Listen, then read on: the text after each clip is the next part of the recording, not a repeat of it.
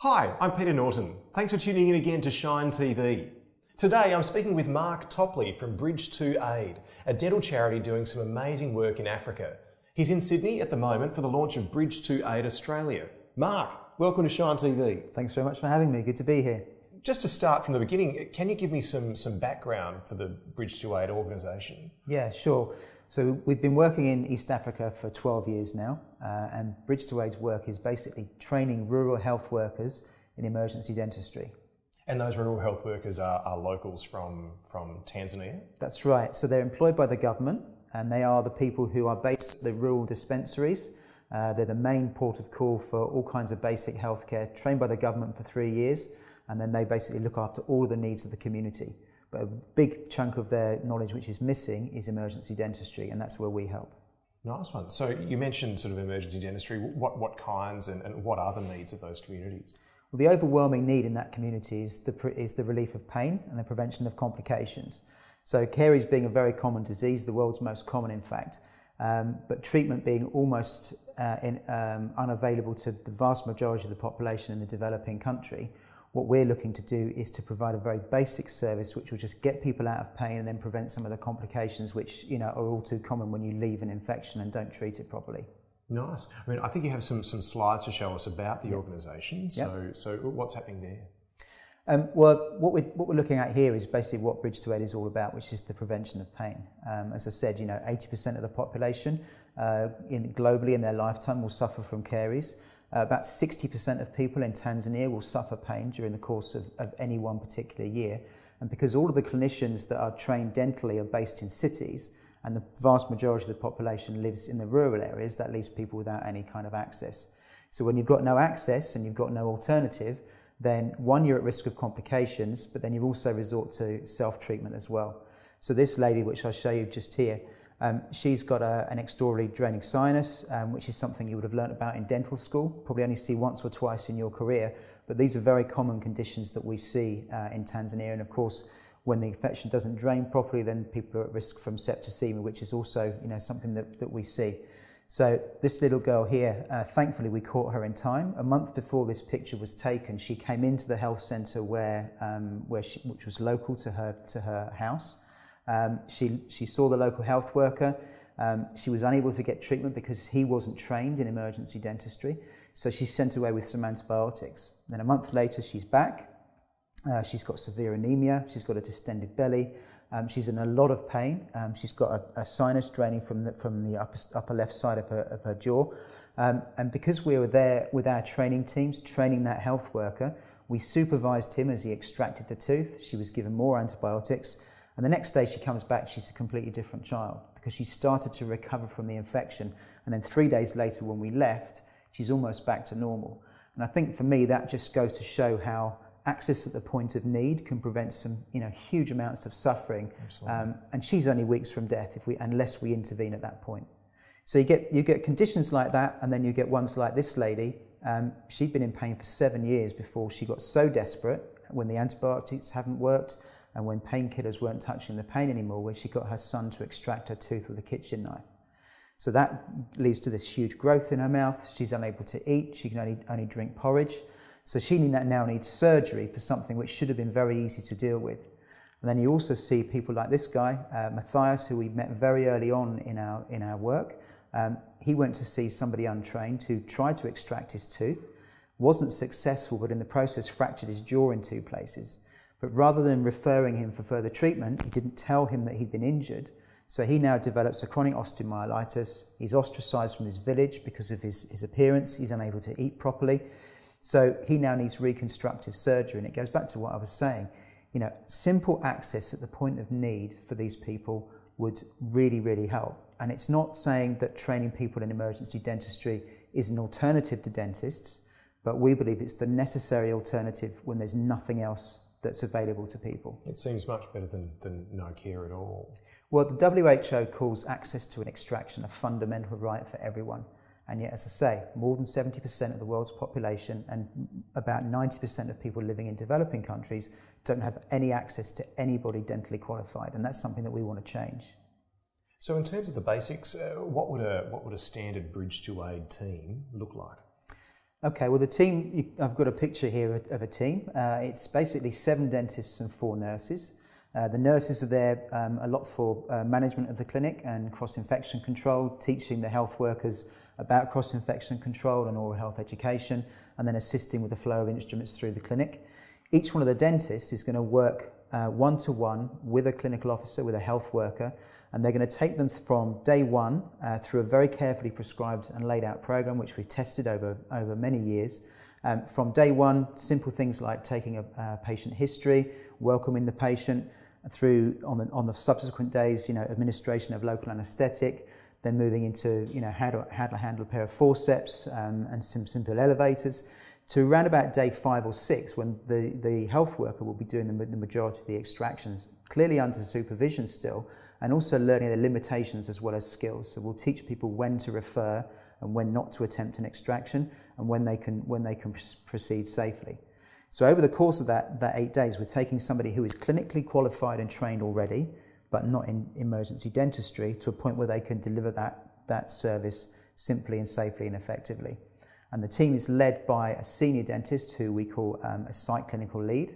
And there's somebody that's been out several times on our program, so they've, they've been there, they've done it, they've seen most things. So they they're experienced and will make sure that the dentists on the team and the nurses on the team feel safe feel well looked after, and if there's any issues that need to be resolved, they're there to step in, as well as our site manager who works for us. So we have two Bridge2Aid team on site already, already at, the, at the time, who are Tanzanians, so they speak the language. Um, they're able to help with, with all, the, all the patient management side of things.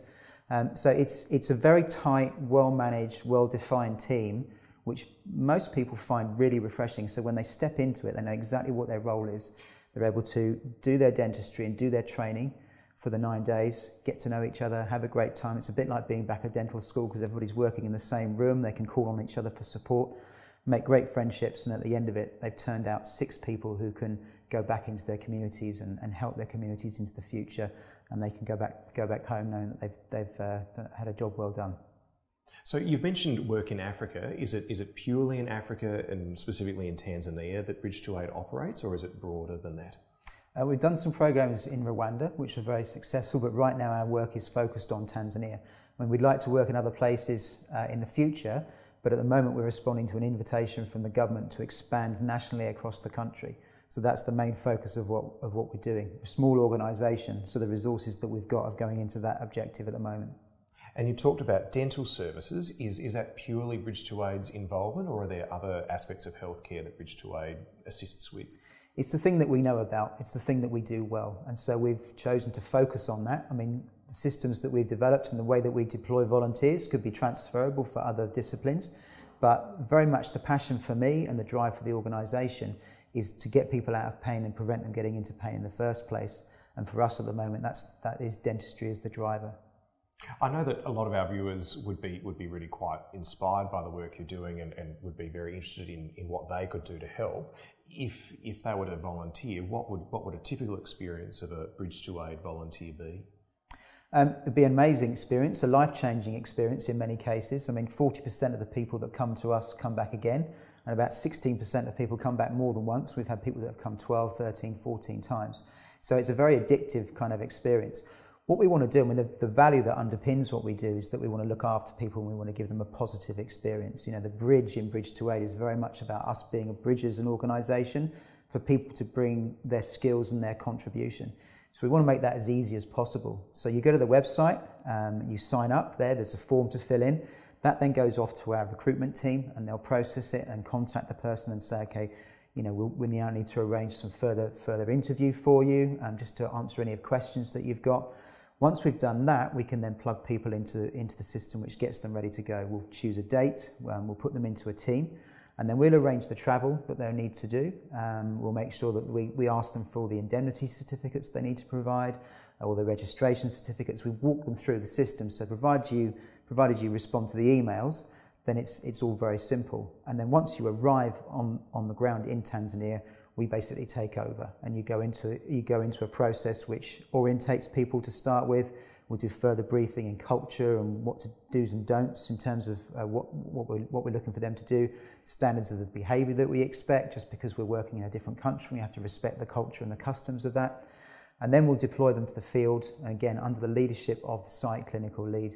Um, and they'll, you'll stay in a place which is comfortable, which is safe. It might not be the five star hotel uh, that you might experience in a Western country, but we'll make sure that you're well looked after. The last thing we want you do is, doing is getting sick um, because you're staying somewhere which, where you're, you know, you're not eating well.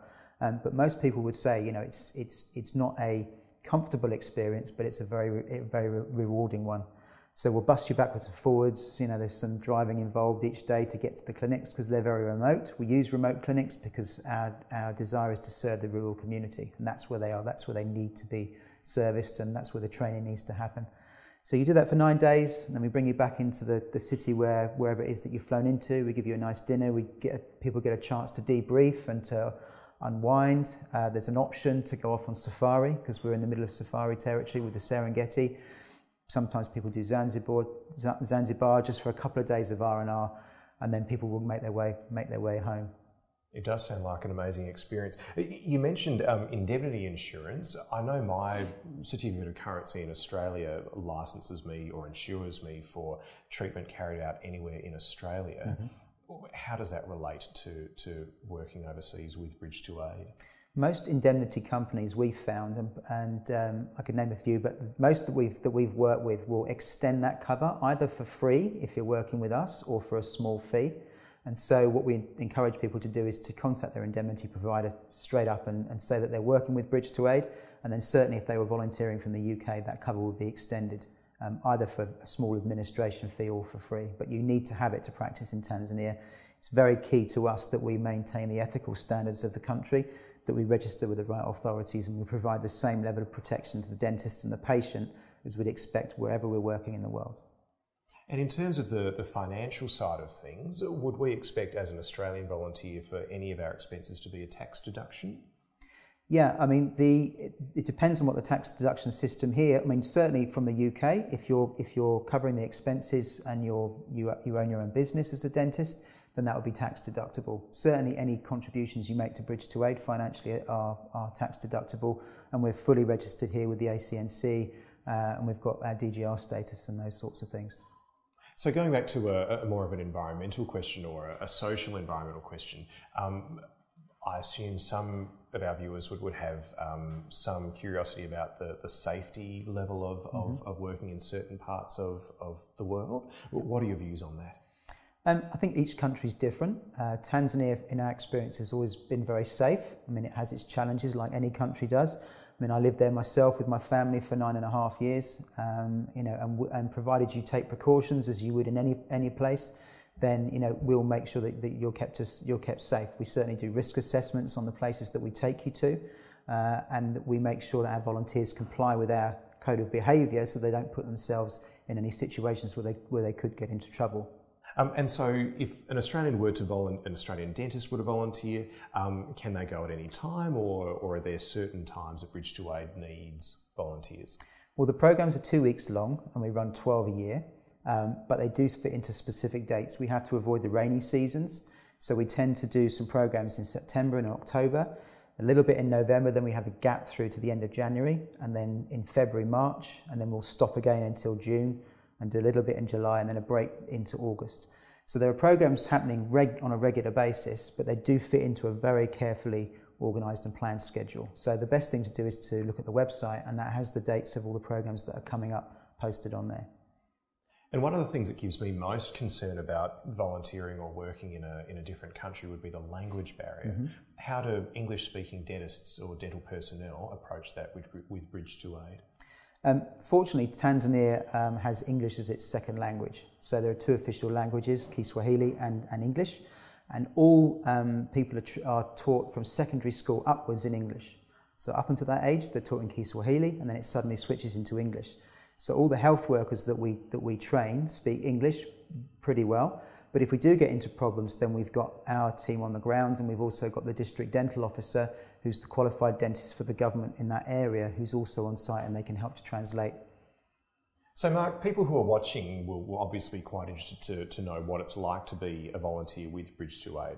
As it happens, we've lined up a, a dentist from Australia who has done some volunteer work with you. Um, her name is Christy. Christy, can you hear me? Yes, Peter, I can hear you. G'day, Mark. How are you? I believe you two know each other already. Hi, Christy. It's good to see you again. Welcome to Australia. So, Christy, can you give us an idea of what it was like for you volunteering with Bridge2Aid in Tanzania? The experience is just extraordinary. Mark showed a slide earlier of Matthias, the man who'd had a botched dental extraction resulting in his jaw being broken in two places. Bridge2Aid actually funded Matthias to have a mandibular reconstruction done in Dar es Salaam, and I had later had a very small involvement in making a partial denture for him. On one of his visits to the clinic, he came in with a pumpkin because he's a pumpkin farmer, and that pumpkin would be the equivalent of several days' wages for him. And it was just to show his appreciation of everything Bridge2Aid had done for him. On subsequent visits, Matthias happened to come into the clinic and he greeted me like a long lost relative the generosity of people with very little immaterial possessions can be truly touching. With volunteering in dentistry, you, you honestly get back more than what you put in. Yes, you work hard, but the rewards are enormous and you make friends for a lifetime. Separate to the whole clinical aspect of Bridge2Aid, when you arrive in Tanzania, you're welcomed into a big family. They honestly couldn't be any more welcoming than they are. And Chrissy, can you tell me what drew you to Bridge2Aid as opposed to towards some other volunteer organisations in similar parts of the world? Well, I'd been wanting to do something like this for a long time. And so when I actually had the opportunity to take some time off of work, I did a bit of a search on the internet and found a few organisations. What I really liked about the Bridge2Aid model was that the fact that you're teaching people and leaving skills behind and to me, the fact that you're leaving skills behind helps make it a sustainable model. And so, Christy, I, my understanding is that you have done more than one stint with Bridge2Aid. What what was it about Bridge2Aid that caused you to, or that drew you back to do more than one stint? Well, quite honestly, I thought I'd only do one trip to Tanzania and that would be it. I've been a total of three times now, and I'm planning to go again. When they talk about the Bridge2Aid family, that's not a tokenistic term. They honestly welcome you into the Bridge to family. And Tanzania is absolutely an amazing country. I've had the opportunity to travel each time I've been there, from the Serengeti to Ngorongoro Crater and Lake Manyara and Zanzibar. And I've only just touched the surface. There's so much to see in Tanzania. Mark said earlier that the training programs can be addictive. I, I have to agree. The camaraderie, leaving behind skills when you leave, and making friends that you'll have for a lifetime, it and experience in another culture all into the bargain make it an exceptionally worthwhile experience. Well, Christy, thanks very much for joining us. You're very welcome. Well, Mark, on behalf of Henry Schein and our Schein TV audience, thanks for your time and congratulations on the amazing work you and Bridge2Aid are doing. Thanks very much. Henry Schein are proud to support Bridge2Aid, and if you'd like more information about volunteering with Bridge2Aid Australia, you can use the contact details on your screen. Thanks for watching and see you soon on Schein TV.